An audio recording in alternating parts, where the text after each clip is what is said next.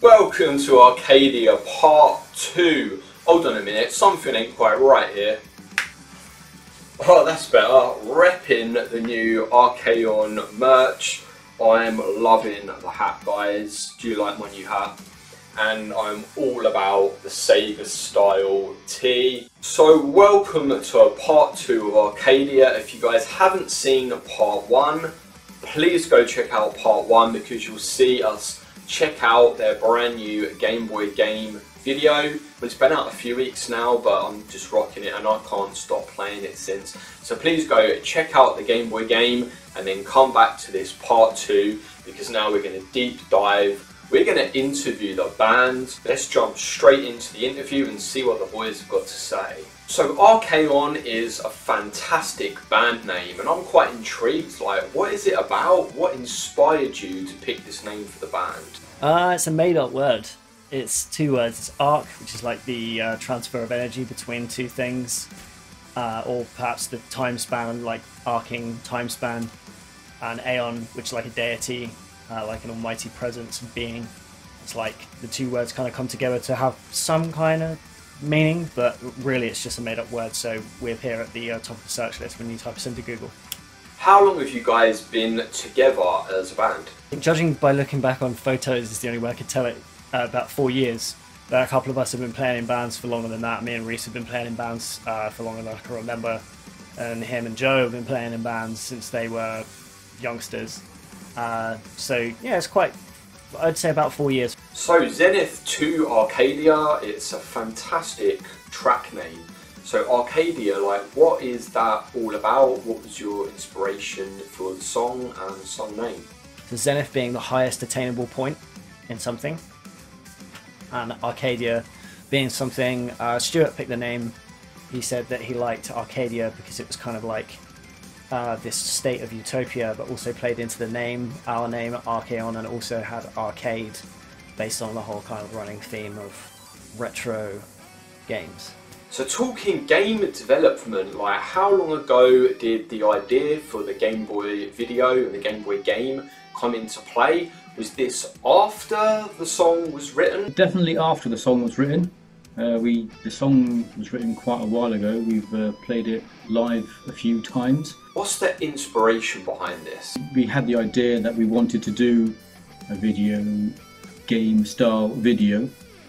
Uh, we went through a few different ideas, having it Mega Drive style. Uh, that proved a bit too difficult. Um, and then Sam came up with this uh, idea of this program he knew. Um, it's called GB Studio. I said, uh, oh, if we do this, we could actually make a real game to go along with it. So the game looks really, really cool. Like, it looks like you've got some skill there. Like, is this the first game that's ever been made by you? It is the first game I've made. I've, I'd never, ever thought that I would be making a game, and I'm honestly surprised that I have. Um, as I said, it was uh, something Sam knew about. Uh, I had a go to see what the, um, the program could do. Then, as I was just playing around with it, it grew and grew, and eventually, I, I thought uh, Sam might be making it because he knew about the program. And then I just kept going and going, and um, yeah, it grew into what we have before you. No, definitely the first game. Never thought it was going to happen. Probably won't happen again. Talking music, your tunes are just off the charts, off the scales, amazing. What challenges did it present, like trying to get that music programmed into 8 bit format? I used to make games on various editors. Um, I've made music for video games for a really long time now, involved on online projects.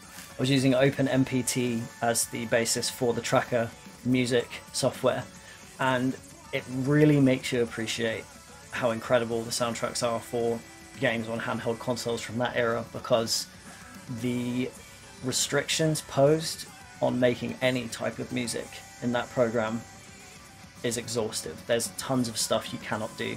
You've got four channels to play with, one of which is for sound effects. Uh, you've got three note polyphony at most, So three notes at once, like you can you can have a three note chord, so you can have a triad if you want. So I had to skim through all of the chords. You can imagine how many chords are in one song, um, and the complexity of two guitarists playing different chords at once.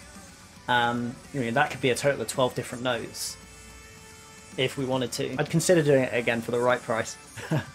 How many actual like hours or days were spent uh, developing this game? Like I imagine it must have taken quite some time. In hours, countless. Couldn't tell you. I started back in June, July time. I finished it at the beginning of January. So I think that ends up being about six, seven months. How have you guys found the experience like working together with the UK still in lockdown? To be honest, we've always worked really well with each other remotely. Uh, part of being in a band is being able to communicate openly. Um, I'm lucky enough to work with some really awesome minds, um, Ivian especially, who I was kind of coupled up with in this project in terms of making this video and game. Um, his aptitude for design is part of his job anyway. I think he transferred his skill set fantastically when it comes to many aspects of this band, so I'm so grateful. In terms of working together in the lockdown, it's the same thing, man. We're just, I'm happy to be working with those guys remotely or in person. Uh, we'll obviously rehearsals and stuff is different, but in this case, working on this, it was it was a joy to be reminded by him to do work was nice for a change.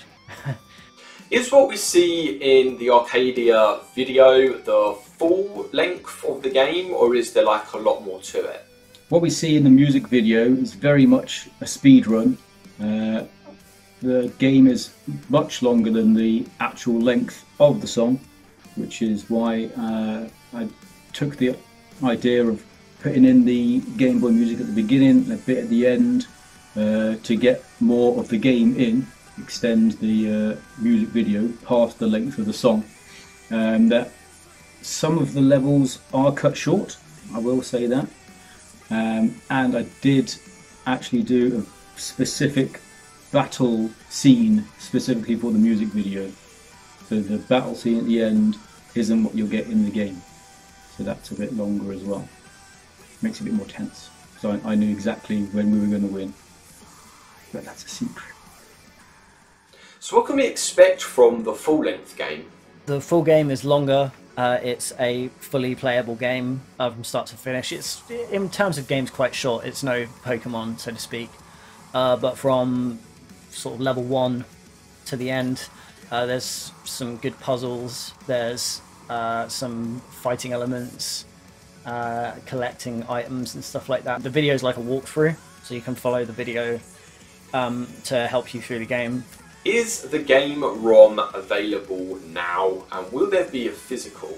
Uh, the ROM is available off the uh, itch.io website. I don't know what .io means, but that's the website.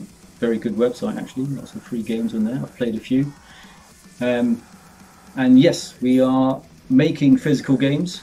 We did have some problems to begin with with the first flasher uh, we are working on making the physicals. Gaz loves his physical games, so will this game appear in your merch store to buy? Yep, they're waiting to be labelled and have the uh, the ROM written on them. I'm in the process of clawing back some funds from uh, what we've made from sales to be able to afford a writer. Uh, the first one I got didn't do the job because of the type of board that these cartridges use, uh, but I'm going to go for the Joey think that's right. That uh, there's a board um, made by someone uh, called like it's, it's a, a, Joey writer, and it's perfect for what I need to do, which is take the ROM that we've made and, and put it onto these this particular type of board because there's a lot of different boards on uh, uh, reproduction carts and so to speak. The new album. What can your fans expect from this epic album? Okay, this is like the fifteenth time I've tried answering this question now, and I'm still stuck on it. I think that's the nature of having sat with it and listened to it so much. But I wouldn't want anyone to expect anything based on what I have to say about it, because everyone's ear is different in terms of how they interpret music. The arrangements are all different for each of the songs. Great, not everyone's going to pick up on that. I can pick up on that. I don't want to say anything that's going to raise someone's expectations for it to be the best album in the world and oh, it's got this and this and this when they listen to it they can interpret something different. So go into it with an open mind, and if you can enjoy any of it, then that's amazing. So I've got to ask the question: What is next for the band? What's going on? What can we expect? My honest answer to what's next for our band is I don't know. We're going to put this record out and see what happens. It's always the case with that. There's music. I've written probably about 20 demos um, that will probably, you know, only a fraction of that music is going to actually end up being used. There's stuff in the pipeline for ideas for a double EP. There's tons of stuff that we have ideas for, but that could all be subject to change. I don't know what's going to happen next. And maybe that's the joy of it. Maybe that's the bit that I like, you know, who knows? Just trying to hang on in there and enjoy ourselves while doing it, which I certainly am. If you're digging the music, guys, their new album, Cascadence or Cascadence, is out now. It is an absolute banger. You really want to go check out the new album because it's available in their merch store physically with lots of their other goods, or you can check it out on their YouTube channel. Go over and uh, hit them up. Thanks so much for checking out this video guys. If you stayed all the way to the end then you must have really enjoyed it. So I guess this video really is kind of to show off more of the Game Boy game, but I guess also it is quite a lot for Arcaeon's fans to drive up some hype and just just get the, their content and their new album out there a lot more because it definitely deserves it. If you guys are new to the channel, please consider hitting that subscribe button. Anyway, I think that's just about it from me guys, so I'll see you guys in the next video. Have a good one.